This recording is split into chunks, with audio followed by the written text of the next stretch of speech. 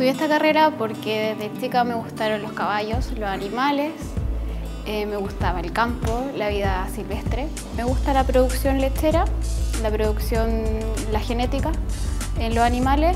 Existen muchas patologías, uno como que de repente piensa que los animales mayores como que no tienen mucha patología, no tienen mucha importancia.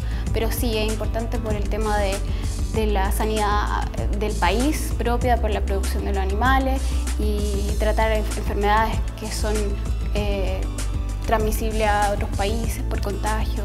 Es importante el, tema como de, especializarse y tener siempre el, como el espíritu emprendedor de querer más en el aspecto de atraer más conocimiento eh, y especializarse en algún área.